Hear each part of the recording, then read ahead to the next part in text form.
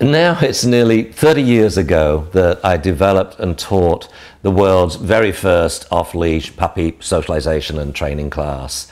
Um, and, and, we called them serious puppy training. Um, now, when I look at puppy classes being taught all over the world, I, I think they've kind of drifted a little in, in what was intended. Um, puppy classes were intended uh, for puppies less than 18 weeks of age. Um, that's when they suddenly, very quickly, within a couple of weeks, turn into adolescence, and you could have dog dog problems in class. But if they're under 18 weeks of age, no, they're going to get along and they're going to get along very, very quickly. The classes were taught entirely off leash, so the puppy would be able to meet all of the people in the room I mean, if we have 11 other puppies in the room, there's going to be about 20 odd people. So we get lots of socialization with people and lots of socialization with dogs, which is important because this is how the puppies develop bite inhibition. All of the obedience was done off leash, um, and so then a leash didn't become a crutch you didn't have to later on in life phase out the leash in training. You know, training wasn't a two-step process. Train them on leash pretty easy, you know, tug up, push down, but oh dear, how do we now get them to respond when we let them off leash? That we train them off leash from the outset and they learn lure reward training to come, to sit, to lie down. Um, what I find now in a lot of puppy classes is, well, most of the time the owner is sitting with their puppy on leash, you know, listening to the trainer talk about theory. No, 55 minutes of the hour the puppy should be off leash and training and playing and socializing or being handled by people.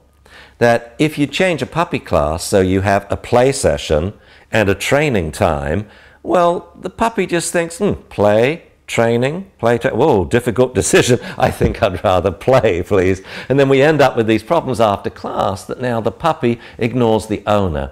It's so important that the puppy should be trained within the play session. Lots of little training interludes. Come here, sit, good dog, go play.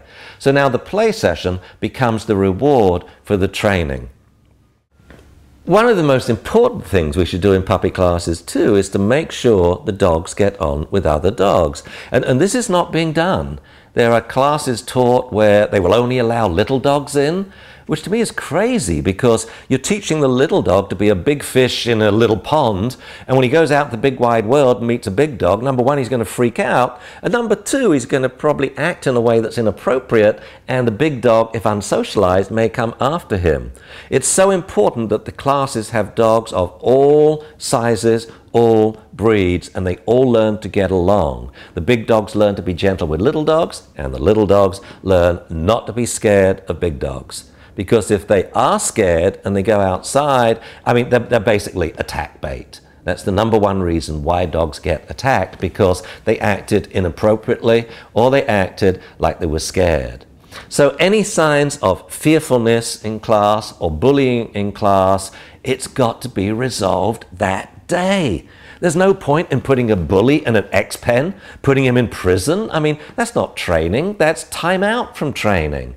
Instead, the, we have to follow him around and give him a running commentary on how he's doing. There's a good boy. Good dog. Gently, gently. Off, off. Hey, hey, hey. Excuse me. Hello. Off we go again. Good boy. There's a good boy. Good boy. Steady. Hey, hey, hey. Off. And we got to let him know that's right. That's right.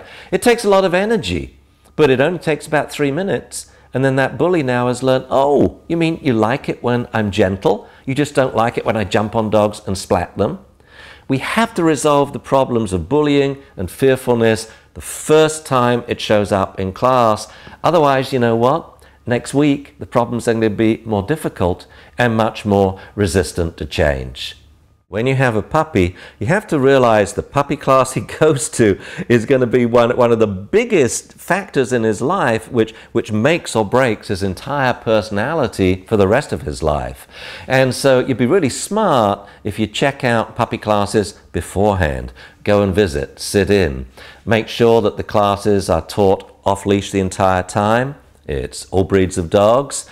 Um, the dogs are trained off leash, and the real difficult problems such as bullying and fearfulness are dealt with right away.